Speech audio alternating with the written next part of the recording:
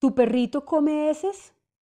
Esta conducta es algo de lo que más preocupa a los papás y mamás de perritos. Y es algo que pues claramente provoca muchísimo desagrado, pero por medio de esta conducta tu perrito te puede estar manifestando que algo no está nada bien.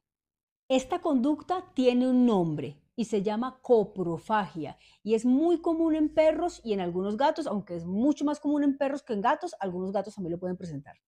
Lo primero que se nos viene a la mente cuando vemos a nuestro perrito comiendo heces, incluso esto es algo que comúnmente también muchos colegas veterinarios es lo primero en lo que piensan, y es que al perrito le faltan nutrientes. En mis consultas han llegado muchos casos de personas que llegan afirmando que a su perrito le faltan nutrientes porque su veterinario le dijo que si comía heces era por falta de nutrientes o porque ellos piensan que le faltan nutrientes en la dieta y por eso están comiendo heces, buscando sus nutrientes ahí en, la, en, la, en las heces. Esa puede ser una posible causa, pero hay otras causas que pueden llevar a este comportamiento, a esta conducta. Incluso son otras causas las más comunes que la misma falta de nutrientes en la dieta.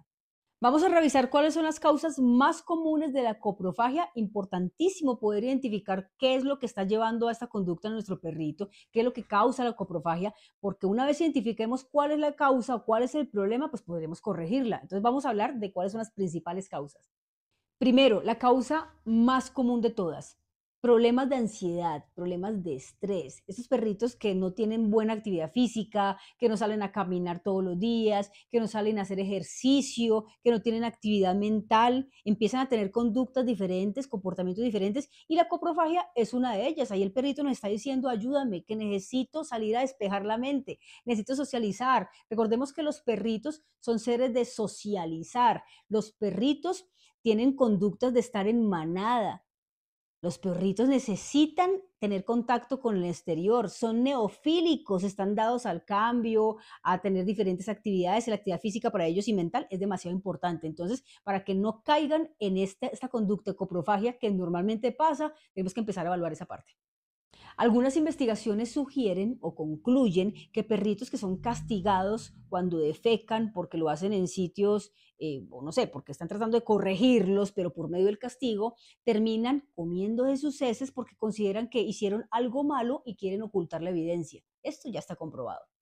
La segunda causa más común es problemas digestivos, enfermedades, alteraciones de salud. El perrito empieza a buscar en las heces porque su organismo le envía señales de que tiene que empezar a corregir una insuficiencia, que tiene que empezar a corregir una alteración en su sistema digestivo y por eso empieza a buscar algunos componentes en las heces para poder mitigar ese impacto en su salud.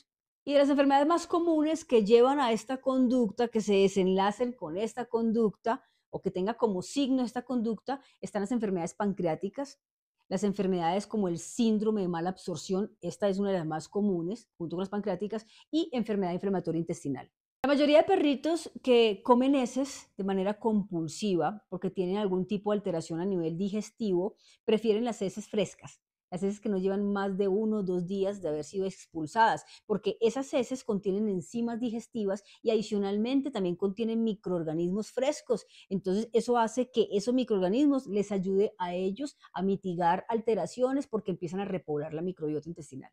La tercera causa más común de coprofagia es una etapa fisiológica donde están con todas las ganas de explorar y es en los cachorros. Los cachorros están jóvenes, obviamente, están con toda su energía, están con todas las ganas de explorar, de activar su olfato y empiezan a buscar en heces propias o en heces de otros animales, buscar algo que los distraiga, algo que les atraiga por el olor, algo que les atraiga por, por el sabor. Entonces, por ejemplo, hay perritos que con cachorritos se atraen mucho por las heces de gato se sienten muy atraídos por las heces de gato, por lo que come el gato, de feca, entonces los atrae su olor o los atrae su sabor. Cuando están cachorritos en su etapa de exploradores, esto es demasiado común que lo hagan.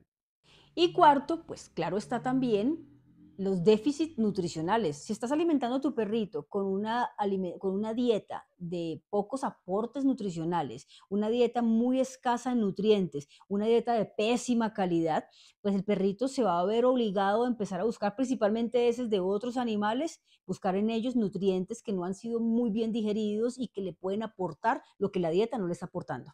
Así que ya sabes que son varias las causas que pueden conllevar a que tu perrito consuma heces. Recordemos que esto se llama coprofagia, que es una conducta muy común en perros, desagradable para nosotros, pero es muy común en ellos y que estas causas se tienen que empezar a identificar. ¿Cuál de estas es las que está llevando a que mi perrito esté teniendo ese comportamiento para poder corregirla? No siempre es por falta de nutrientes en la dieta. Entonces, uno de los errores que comúnmente se presenta es que el colega, cuando le, cuenta a la persona, mamá del perrito, del gatico, principalmente en perritos, que su perrito está comiendo heces, lo primero que hace es recetar un multivitamínico y eso es un grave error. No solamente porque los multivitamínicos no se tienen que estar suministrando así porque sí, sino porque dejamos de ahondar en otros o chequear en otras posibles causas. Y con un solo multivitamínico muchas veces no se puede corregir porque la causa no es de déficit nutricional, Así que para poder ayudar a tu perrito a corregir esta conducta de coprofagia, lo primero que tienes que hacer es mejorar